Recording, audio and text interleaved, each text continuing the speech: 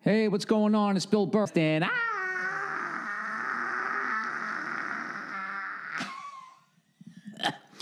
I'm just checking in on you. Seeing how your week's going. How you guys doing? I am in a great mood. Woo! I'm in an awesome mood.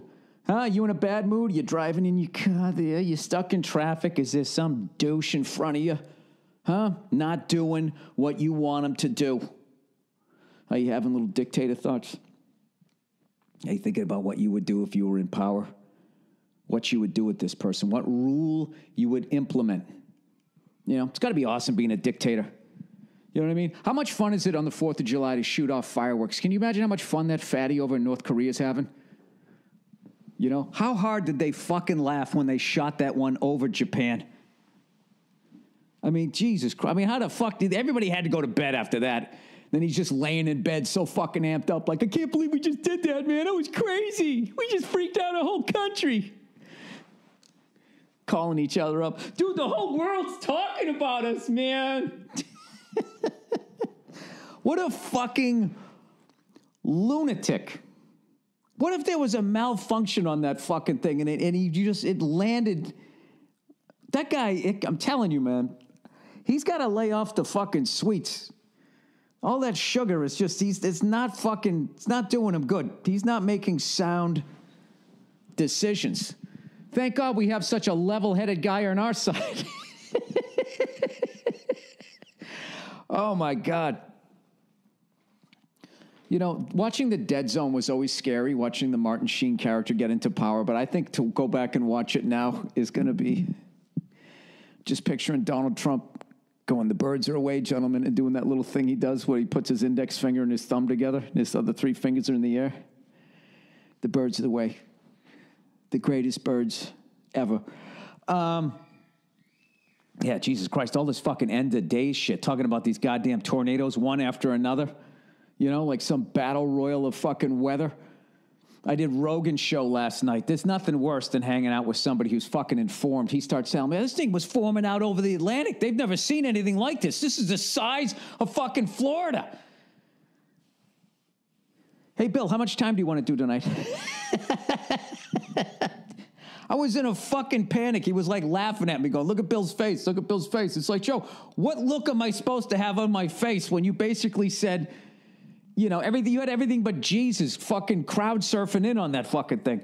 Not to mention, I'm going to Mississippi and Alabama this weekend. Mississippi, Alabama, the heart of the SEC. I'm gonna tell you something right now. As a fucking northern white boy Yankee, I fucking love Mississippi and Alabama. I, lo- I love that whole fucking stretch of the South, how they all shit on each other, and then it somehow lands in Louisiana's lap, right? You're in Georgia, and all they do is make fun of Alabama, right?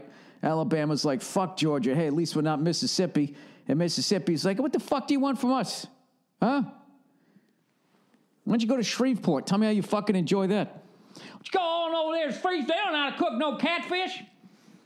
Um, I love it down there. Granted, I'm fucking white, you know, and even if the Klan started marching, you know, and I got all fucking nervous, I could fake my way through it. You know, give them a nod, you know, and slip into a store real quick. Um, what's going on tonight? Oh, the Patriots. Yeah, da da da.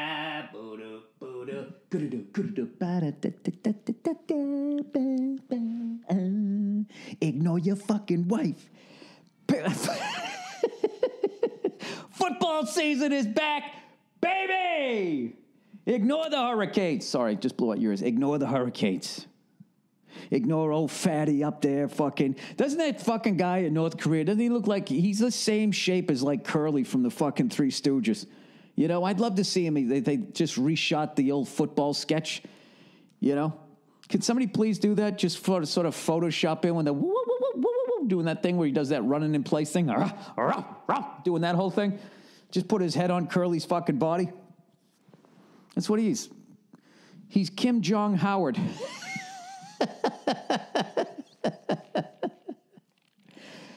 uh, how many times would I be put to death in that fucking country? I can't even fucking imagine. I can't even imagine. You know, you got to go out swinging. You got to go out like a fucking, you know, you know, I'm not, I, you know, Saddam was a fucking brutal guy, but did you see how that guy went out? He was standing there. He's just staring them all in the eye. They put the rope around his neck. He's still talking shit. Yeah, go fuck yourself. Go fuck yourself, you know? It's fucking. And people always talk, oh, dude, when you were in Philly, how did you handle that? Fuck that. Look what, look what Saddam handled. He was talking shit right until they fucking yanked that rope uh, or that lever or whatever. I would have been crying like a little girl, going, I'm sorry, I'm sorry, I impressed everybody, man. I'll, I'll sweep the streets, anything you want. That's how I would have gone out. Gone into the next world, and God would have just been looking at me, shaking his head. You know, of all the awful fucking things you did, I think your bitchy way you left was the worst. Get out of my sight. And then he just pushes the button. I go down to hell. I go down to hell and I burn forever. And that's a good fucking thing to bring up when you got two gigs coming up Mississippi and Alabama. I'm gonna tell you, you go down Mississippi, Alabama, those motherfuckers, they ain't got computers yet. They ain't got computers, but I'll tell you, they still eat. They'll still eat. I don't tell you, give them some clothesline, they'll catch catfish and dry your overalls, motherfuckers. They can live off the land you know, if uh, what Rogan was telling me was even remotely true, um, him and Jimmy Dore are the two most informed fucking comedians I know. As far as they actually pay attention to shit, somebody says some shit, and rather than just taking it as truth, they actually will fucking research it. They'll have guests on their show. I cannot recommend their podcasts and uh, his uh, Joe's podcast and uh, um, Jimmy Dore's YouTube show highly enough. And you don't always have to fucking agree with them. But I'll tell you right now, I'm going to tell you something right now. If you're fucking watching CNN and then if you're watching Fox News and shit, I mean, that's, you know, those people, okay, I'm going to, you know, no offense to uh, other comedians, but they're definitely more well spoken than a lot of us. But, you know, I'm just saying. There is a whole, uh, you know, just look at how they read the ads on those channels, and then you know exactly like they're they're they're they're stuck between the lines, man. I don't know what I'm talking about. Um, yeah, why don't you confuse the people? So there you go. I had to do something free massage because I lost another advertiser. I can't believe it. I put my fucking heart and soul into these fucking reads. You know, I could go monotone. I could just read what they wrote. I could just do what they want. But you're not going to listen. And I know this show must go on, even if I'm reading fucking advertising. But those fucking cunts over there, the masseuse people, that was a one and done. How dare you bring up hand jobs at the at the end of the, of the massage reads? What the fuck are you talking about? That's a huge part of your industry. Either you're doing it or you're not doing it. The fuck?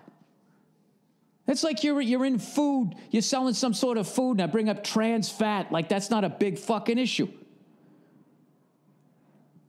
That is a hot button issue that, that, is, that, that needs to be brought up in front of Congress. And I, I stand by that.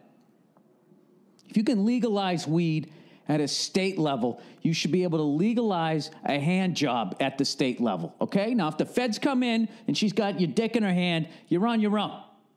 All right? You're on your fucking own. You're Joe Pesci and Goodfellas. Oh, no. Right? That's it. That's it. All right? Ladies, it doesn't mean anything to us. It doesn't mean anything. If you ever saw the look on the woman's face when she's doing it, I mean, I swear to God. I swear to God. Like, it's just like she's, she, I don't know, she's thinking of fucking zillion other things. Which is probably usually where you go. That's probably your safe place, you know, when you're fucking employed in the sex industry. Um, I don't. I don't know what the fuck to tell you. I don't know what to tell you. So because I brought that up, which was funny enough to make people listen, they walked away from all the fucking massages that my listeners would have got. Now I'm not gonna lie to you. A third of them would have been expecting some sort of uh, hand release at the end of it. So maybe, maybe that's okay. I, will take that. Okay, I, I will take that part of it. All right. But I'm getting tired of these, these, these the, the blue aprons the nature boxes, you know, they're all good when the sun's out. And the second they see a little bit of rough water, what do they do? They fucking pull up stakes, those fucking phony bastards, okay? And they take their aprons and their fucking twats and they go to somebody else's podcast. And I'll tell you right now, I've had enough of it. Doing my, my gosh darndest over here to try to put a little bit of money in your pocket, you know? How many people do you think at that fucking massage place have actually gone to a massage parlor and gotten fucking jerked off? How many? You know what I mean? Fucking up. Jeez, I don't, don't get me fucking started, you know?